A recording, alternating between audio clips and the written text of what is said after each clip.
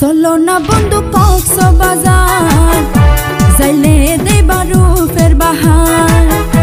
হাতে হাত রাখি